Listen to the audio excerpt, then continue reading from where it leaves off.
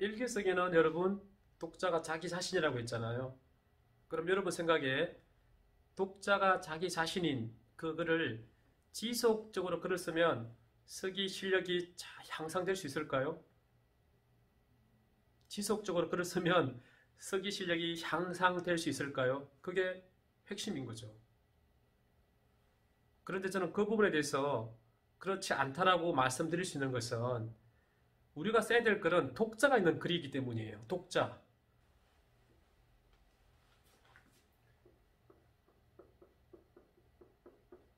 글쓴이 필자죠.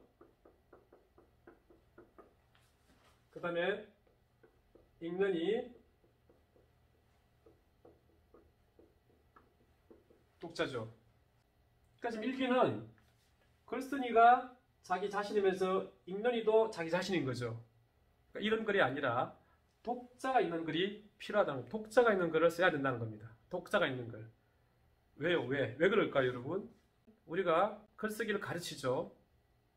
글쓰기를 가르치는데 학생들이 써야 될 글들은 상당히 많습니다. 종류는 상당히 많죠. 운종도 상당히 다양하고. 근데 보통 우리 학생들이 써야 될 글들은 정보 전달의 글, 정보를 전달하는 글, 독자가 있다는 거죠.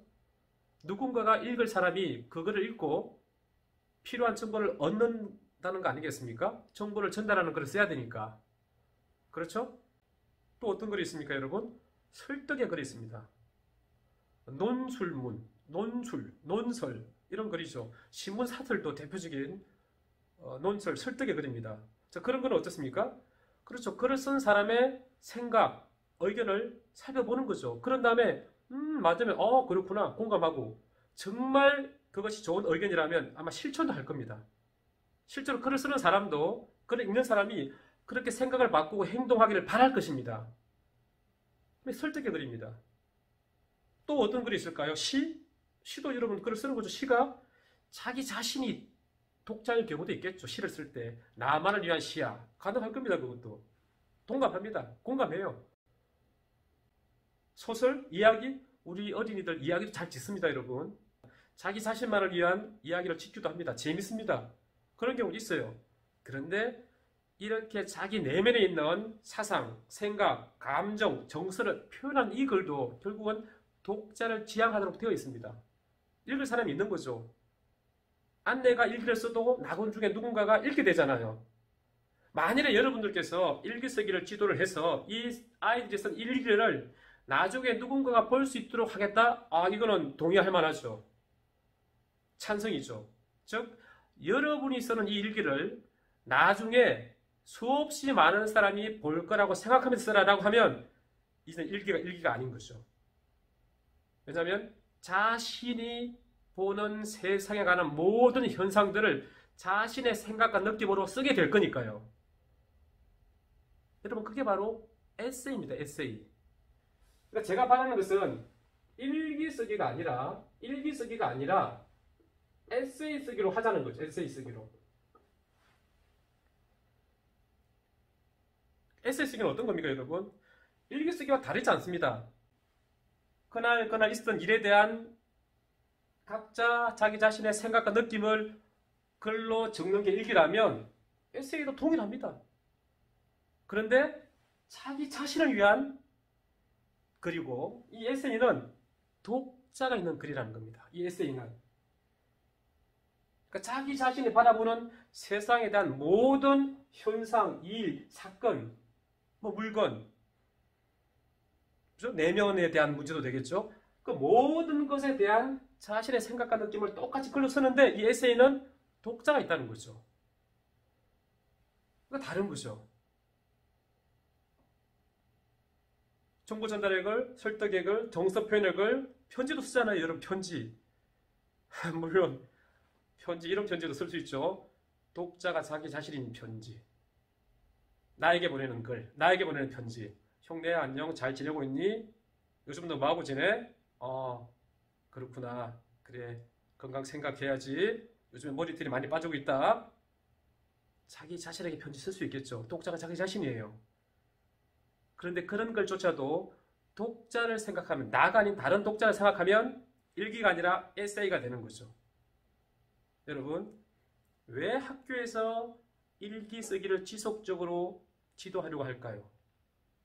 여러분, 교육의 힘, 교육의 힘은 여러 가지가 있지만은 여러분도 아마 느끼시겠죠?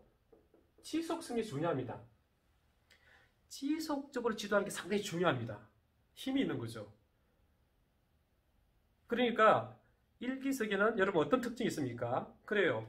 뭐 일기가 매일매일 쓰는 거라고 되어 있지만은 매일은 아니더라도 일주일에 두 번, 세 번 지속적으로 글을 쓸 수 있는 기회를 갖게 되는 거잖아요. 글을 쓸 수 있는 경험을 얻게 되는 거죠. 그런 면에서 가치가 있다는 거죠. 가치가 있어요. 분명하죠. 지속적으로 쓸 글이 뭐가 있겠습니까? 아마 학생들한테 여러분 에세이를 매일매일 씁시다. 어려운 일인 거죠. 한 편의 작품을 만들어야 되니까요. 누가 독자가 있는 글을 만들어야 되는 거니까. 그죠? 그런데 이렇게 매일매일 글을 쓸 수 있다는 최대의 장점을 가지고 있지만 이렇게 1학년, 1학년, 2학년, 고등학생, 대학생, 자 여러분 이렇게 해서 일기를 지속 쓴다고 하더라도 그 일기가 결국은 뭐죠?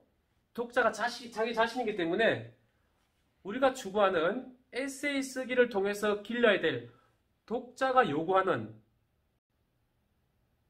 독자의 요구에 맞는 좋은 글, 주제가 잘 드러나고 문단 구성도 자연스럽고 통일성도 갖추고 있고 창의적이면서 독자들에게 의미를 제공하고 새로운 세계를 보여주고 독자의 고민거리를 해결해 주기도 하고 독자의 공감을 얻어낼 수도 있고 그래서 이 글을 통해서 사회가 이 세상이 함께 살아가야 되고 소중하고 그런 걸 여러분 공유할 수 있잖아요.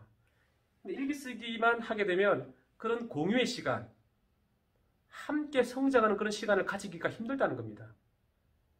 나 혼자 쓰는 글이니까. 그러니까 제가 여러분 드리고 싶은 말씀은 일기 쓰기라는 방식으로 지속적으로 글쓰기를 하는 것은 중요하다는 거예요. 그렇지만 이런 글쓰기를 할 때 글이 무엇인지, 왜 쓰는지 그런 본질적인 문제에 대해서 해결을 해야 된다는 거죠. 여러분 글을 왜 씁니까? 여러 가지가 있겠지만은 다른 사람인 독자에게 나의 생각, 나의 사상, 나의 정서, 나의 감정, 내 모든 것을 독자가 읽고 무엇인가를 얻고 또 그 사람이 바라는 대로 또는 내가 바라는 대로 변화를 하고 변화해서 이 사회를 발전시키고 그리고 또 내가 쓴 글을 읽고 행복해하고 만족해하고 공감하고 정서적으로 평안을 느끼고 감사함을 느끼고 그게 글이라는 것을 여러분 알아야 되죠. 그렇다면 이 일기쓰기는 독자가 자기 자신인 일기쓰기가 아니라 독자가 존재하는 일기쓰기 그래서 일기란 말 대신에 에세이 쓰기란 말로 바꿀 필요가 있다는 거죠. 방식은 일기 쓰기로 하지만 실제 이 글은 일기가 아니라 에세이가 되는 거죠. 독자가 있는 글. 독자를 위해서 정보 전달에 글을 쓰고 독자를 위해서 생각하면서 설득의 글을 쓰고 정서 표현의 글을 쓰고 친교의 글을 쓰는 거죠. 그래서 우리가 그렇게 쓴 글을 보고 우리도 성장하게 되는 거죠. 음, 야, 야, 정말 대단한 글인데 나도 이렇게 해야 되겠다. 어, 이렇게 좋은 정보가, 야, 이 사람 이렇게 생각하는구나. 그래. 그래서 여러분 바꿔야 된다는 겁니다. 일기 쓰기가 아니라 에세이 쓰기로.